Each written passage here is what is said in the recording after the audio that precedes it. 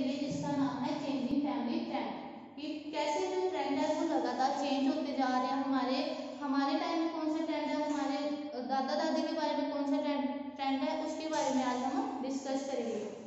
इस लेसन में तीन मेन कैरेक्टर है, राजू राजू का, राजू फादर्स प्रताप सिंह, जो कौन है? ग्रैंड फादर का फ्रेंड है। उनके गाँव में प्रताप सिंह आता है, बाहर से आदमी जो किसका दोस्त है, उसके दादा का दोस्त है पहले पैराग्राफ में बताया कि Raju father work in city Raju का जो पिता है, वो कहाँ से काम करता है? सिटी में काम करता है। He started living there as a village, but was much far from the city. He often come to village along with his family. Raju had summer vacation. Raju की है जो गर्मियों की छुट्टियाँ चल रही है, जिसकी वजह से वो राजू क्या है अपने दादा दादी के पास छुट्टियाँ काटने के लिए आया हुआ है।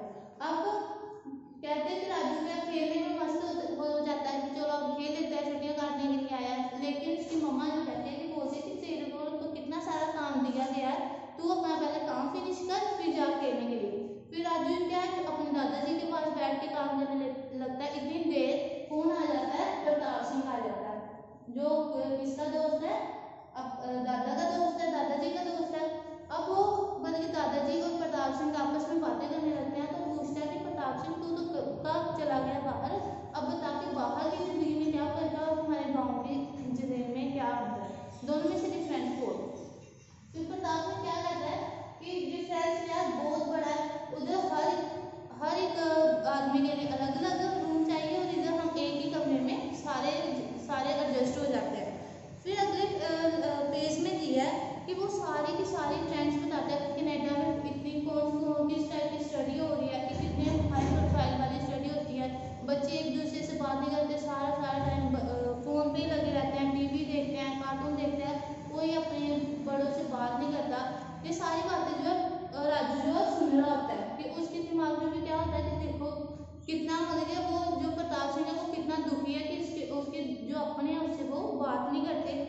फिर लास्ट में जो है ग्रैंड फादर कहता है कि you are right Pratap Singh. The parents can teach all this to their children by giving them time कहते हैं कि जब तक पेरेंट्स टाइम नहीं देंगे बच्चों को तो वो सिखाएँगे नहीं कि कैसे हमने अपने बड़ों के साथ बात करनी है, कैसे उनकी रिस्पेक्ट करनी है तो वो सीखेंगे कैसे।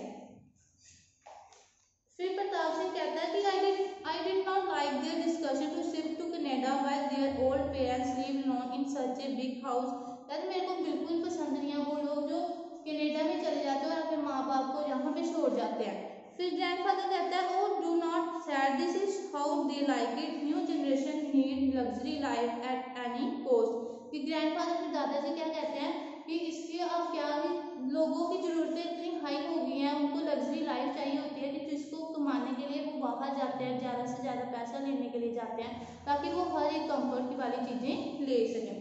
इतनी सारी बात जो ग्रैंड फादर प्रताप सिंह आपस में बातें करते रहते हैं कि कैसे कैसे वो अभी लाइफ को कैसे कितनी पहले मज़े थे, अब कितना हमें डिफ़िकल्टी से जीना पड़ता है, हमारे बच्चे हमसे बात नहीं करते। तो ये सारी जो है डिस्कशन उनमें से चल रही थी।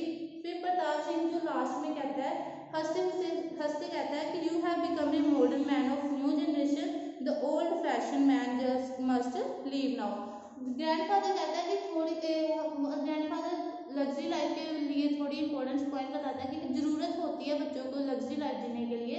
तो फिर प्रताप सिंह उसको टोट करके कहता है कि तू बैठ इधर, तू न्यू जनरेशन वाला ग्रैंडफादर होगा। मैं बेचारा पुराने का पुराने वाला हूँ, इसलिए मैं जा रहा हूँ। वो हँसते हँसते वहाँ से लीव कर जाता है। अब नेक्स्ट वीडियो में हम इसके, इस लेसन के क्वेश्चन आंसर डिस्कस करेंगे।